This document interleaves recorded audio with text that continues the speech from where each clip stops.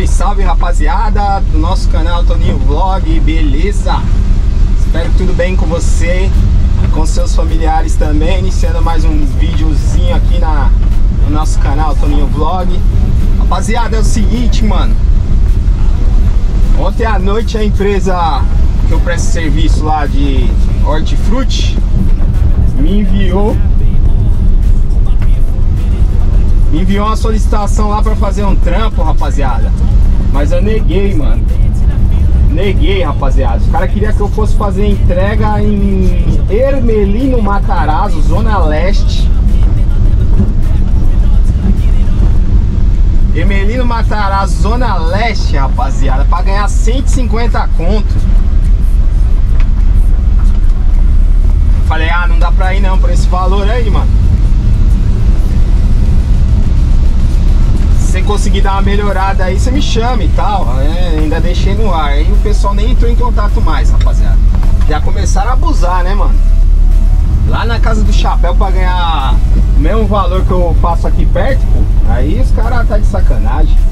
Então neguei esse trampo aí. Graças a Deus caiu esse outro trampo que eu tô indo fazer agora.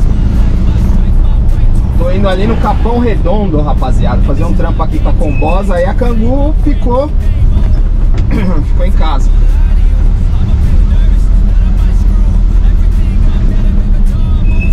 Ontem, ontem eu fiz um trampinho com a Cangu de manhã pros caras lá Pra entregar em Santo Amaro. Aí tudo bem, ganhar, pagar 150 pau, né rapaziada? Mas atravessar a cidade pra ganhar o mesmo valor Mano, ia dar um papo aí de 40 quilômetros só pra ir, mano Aí você volta batendo lata, mas com 80 km, mano, pra ganhar 150 pau, não compensa não, velho. Aí caiu esse trampo que eu vou lá fazer. E aí nesse vídeo também vamos trocar uma ideia, né, agora no trajeto. É, sobre outra questão, né, rapaziada? Não é só com a Kombi, com a Cangu também acontece, rapaziada. O que? Cliente não gosta de enviar, mano, as informações para você fazer o orçamento, né? Por exemplo, cara, você vai pedir de praxe, né? Ah, preciso do endereço de, de saída, o endereço de entrega, a lista de itens. Precisa de ajudante? Se precisa, informa se tem escada. As coisas simples, mano.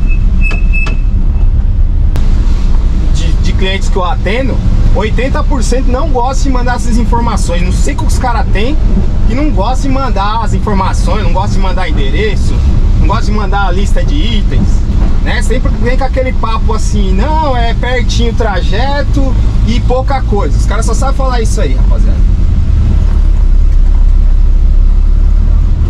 Aí se você vai no escuro, manda o endereço, você se lasca, vocês estão ligados, né? Aí, por exemplo, se eu fico perguntando pro cliente, fica uma, uma situação chata. Não, preciso dos endereços, senão não consigo enviar orçamento. Papapá, tem cliente que nem responde mais. O que, que eu tô fazendo para tentar aproveitar esses clientes né, que não gostam de passar as informações? O que, que eu faço, rapaziada? Só lembrando, tanto faz se é serviço para Cangu como serviço com a Kombi, tá ligado, rapaziada? É o mesmo procedimento. Aí eu falo pro cliente o seguinte, aí o cliente fala, não, é tal bairro, é de uma rua para outra e é pouquinha coisa. Aí eu monto, eu mando pro cara, aí eu vejo que o cara não quer mandar os endereços, não quer mandar a lista de item, né? Só nesse papo aí a gente já sabe que o cara não quer mandar. Né? Quando manda assim, não adianta ficar insistindo que ele não vai mandar, ele não vai te responder mais. Aí eu já mando assim, rapaziada qual bairro que é? Aí eu olho no mapa o trajeto até o bairro, certo? E eu pego o ponto mais longe do... Põe em bico a metade do carro e fica parado no meio da pista. Aí eu pego o ponto mais longe do bairro, tá ligado, rapaziada? E envio o orçamento da seguinte forma. Eu envio o orçamento como se fosse carreto e eu informo tudo isso pro cliente, né? Eu falo assim, ó, se for até três itens, o valor é X. Se for mais de três itens, o valor é Y, que aí eu já considero uma mudança a caçamba lotada, tá ligado? Se for na Kombi ou se for na Canguru. Na Cangu é um pouquinho mais complicado, rapaziada, porque a gente tem que saber o que vai levar, tá ligado? Então fica meio que... Senão não cabe no carro, né, mano? Mas com a Kombi o processo praticamente é esse. O cara já sabe que eu tenho a Kombi, eu mando o orçamento, falo, ó... Até três itens é esse valor, né? Calculo o trajeto no ponto mais longo do bairro. Até três itens é esse valor mais do que esses itens, aí eu já vou considerar, considerar uma mudança, já mando o valor como se fosse fazer uma mudança.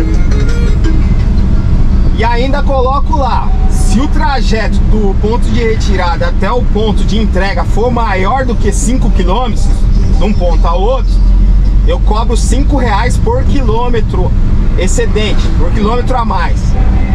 Ah, mas como que você vai calcular isso, Toninho? Simples, mano. Na hora de chegar lá, você carrega o carro, certo? Você vai carregar o carro, aí o cara vai te passar o endereço para fazer a entrega, você joga no Maps, na hora que você jogar no Maps, você vê o trajeto, se deu 7 km, 8 km do local da retirada, você cobra o, os quilômetros excedentes, por exemplo, ah, deu ele falou que o trajeto era curto, aí você já mandou o orçamento para rodar o trajeto de 5 km naquele perímetro, certo? Vocês vão achar que é complicado, mas não é fazer isso. Você tá se, se assegurando de não tomar prejuízo na hora de fazer o trampo. Aí o cara, o pessoal fala, não, é de uma rua pra outra, é pertinho, pá. Aí chega lá no pertinho, você tem que rodar 8 km, por exemplo. Vai dar 3 km a mais do que você tinha mandado pra ele. O cliente vai ter que, vai ter que pagar pra você mais 15 reais, 5 é, reais por quilômetro. Né? Excedeu 3. Certo, rapaziada? Então desse jeito que eu tô fazendo. A maior, aí quando o cara ele demonstra realmente o interesse, aí ele volta atrás, né? Você manda todas essas informações, ele fica meio que sem entender, aí ele fala, não, os endereços são esses, eu preciso carregar essas coisas. Então aí ele vai e abre o jogo, né? Na maioria dos casos. E aí a questão do de ajudante, né? Você já deixa claro, ó. Ajudante é X, se tiver escada, é Y, tá ligado? Então tudo isso já tem que se assegurar. Já. Ah, quanto nos dois pontos, já considera que tem escada nos dois pontos quando você vai mandar o orçamento, tá ligado?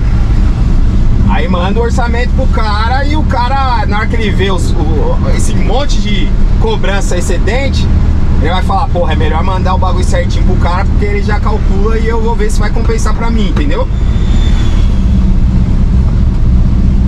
Porque senão, rapaziada, fica uma papagaiada, mano. Ixi, tô cansado de cliente que eu mando os bagulhos, os caras nem retornam. E agora eu tô fazendo isso, né? Mensagem automática também, rapaziada. Cara, depende muito da onde você vai, vai divulgar o seu negócio, tá ligado? Depende muito, mano. Se você deixar a mensagem automática muito cheia de informação, os caras também não vai te responder. Então deixa o bagulho mais básico, assim, ó, por exemplo. Eu tô falando de experiência própria, tá, rapaziada? Do que eu faço, que dá certo e que não dá certo. Então eu comecei a fazer um uma mensagem automática já solicitando todas essas informações aí, rapaziada. Aí eu vi que a maioria dos clientes não respondia. Tem uma questão também, né? Quando o cara quer fechar o trampo, ele responde. Né? Ele, você pode, você manda lá, ele vai responder porque ele tá realmente precisando. Tem umas pessoas que ainda estão procurando transporte que vai fazer o bagulho daqui, sei lá, tantos dias. Ou tem os apressados que precisam no mesmo dia. Então os caras não querem responder esse monte de perguntas é o certo você forçar que a pessoa responda essas perguntas, mas na prática não funciona bem assim. Então na, na mensagem automática, por exemplo, do seu WhatsApp, você pode colocar lá que Opa, já te respondo, né? Me informa o que você precisa transportar. Só isso, por enquanto. E aí depois você a pessoa vai falar, ah, eu preciso fazer uma mudança. Aí você solicita os outros detalhes. Ah, eu preciso fazer um carreta. Aí você só solicita os endereços, tá ligado? Pergunta se precisa de ajudante e tal, essas coisas simples. Ai, caramba. Meu Deus, o cara passou farolzão, busão na cara dura. Bem-vindos à quebrada. Quebrada é sem lei, rapaziada. Então isso que eu tô fazendo, mano. Porque, pô, não é todo cliente que vai querer responder, mano. Os bagulho que você pergunta, tá ligado? Tem cara que vai no meu WhatsApp ver a mensagem automática lá, já era, não dá nem retorno. Mesmo que eu envie depois, opa, boa tarde, né? Tal, tento puxar um assunto, a pessoa não responde mais não, mano. Já era. Então a primeira chance de ter o contato ali, mano, é, é essa, cara. Se você solicitar muita coisa, os caras vão fugir.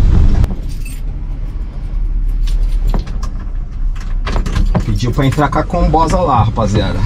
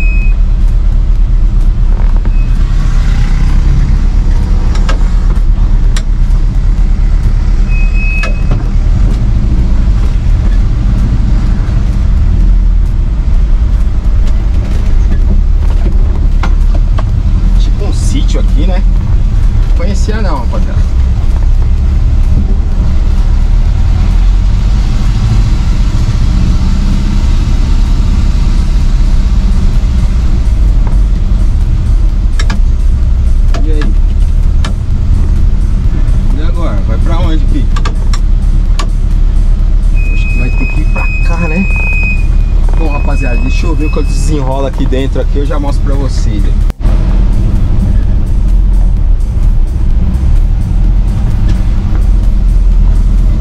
É um clube, tipo uma chácara, um sítio, um clube, sei lá o que, que é isso aqui.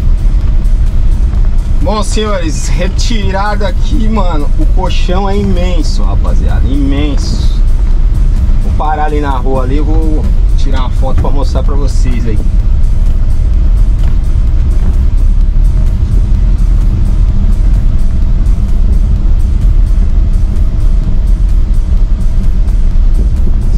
Cangu, ia fazer uma cobertura na cangu, ia passar direto. De tão grande que o bicho é. É tipo um restaurante aqui também, bem legal aqui, mano. Conhecia não. E que é perto de casa.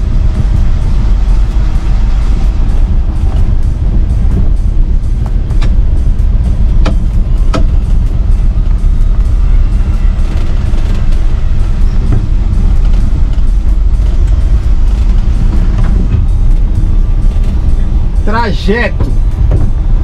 Não é um trajeto curto. Dá 10 km agora até a retirada lá rapaziada. Então basicamente aí foi 10 reais por quilômetro né? Total aí deu uns 15 km desse trajeto bem melhor do que rodar quase 80 para fazer o, o hortifruti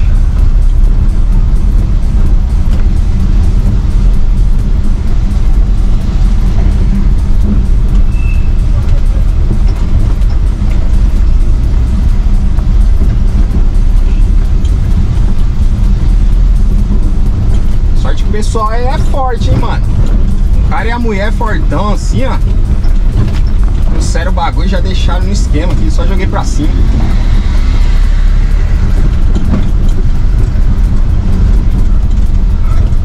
Esses colchão hoje em dia é pesado pra caramba, né?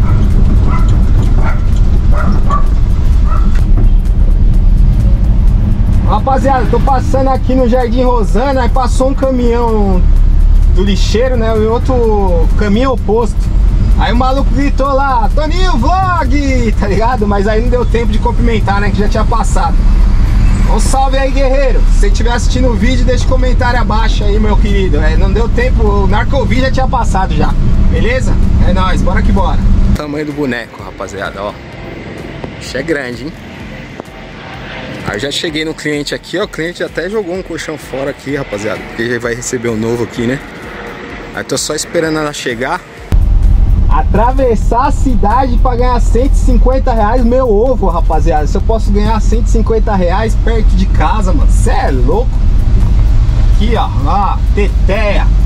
Ainda mais que a combosa não precisa nem abastecer. Ainda sobrou gasolina no último trampo aí, rapaziada, que vocês acompanharam. Então, 150 pila pro bolso, meu querido. caralho, mano. Deixa eu colocar o bagulho bolso. É louco? Atravessar a cidade, ficar se matando no trânsito.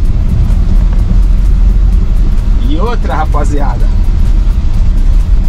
Oxi. Cadê o celular? Mano, eu tô com um cliente aqui para enviar um orçamentinho aqui, hein, rapaziada. Mudancinha, hein? É mudancinha, rapaziada. É mudancinha, meu querido. Então é isso, rapaziada. Nesse vídeo de hoje vamos ficando por aqui. Vou até mandar uma mensagem pro Gil ali pra ver se ele tá disponível à tarde. Pra ver se a gente fecha esse trampo agora que o cliente mandou aqui, mano. Uma mudancinha dá pra gente ganhar um qualquer a mais aí. Fechou, meus queridos? Agradeço mais uma vez por vocês acompanharem aí nossos vídeos aí, mano. Ah, mano, colchão pesado, hein, velho. Ó, deu até uma suada aqui, mano, de carregar o balão. Oh, rapaz! Mas deu tudo certo, graças a Deus.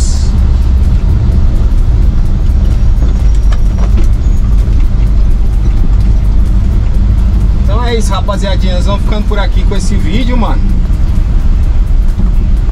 E vamos para as cenas dos próximos capítulos. É nóis, rapaziada. Tamo junto, ó. Aí tem carga, hein, meu querido. Tá descarregando? Tá carregando, será? É nóis. Fui!